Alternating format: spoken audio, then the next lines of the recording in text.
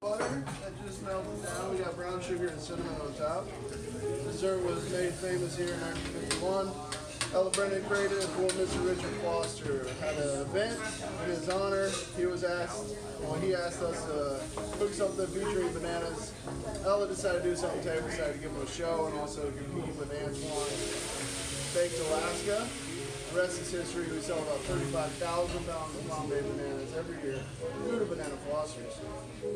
Just add a little banana liqueur, melt that down, mix the caramel sauce in the pan, toss these bananas in like so, baste them in the sauce, and then we're gonna put them over vanilla ice cream, which was Ella's way to get back at her brother, pulling every three hours for this important event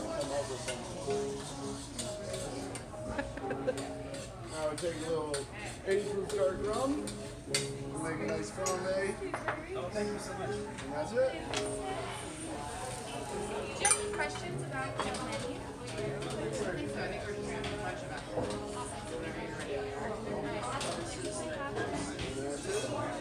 Looks good.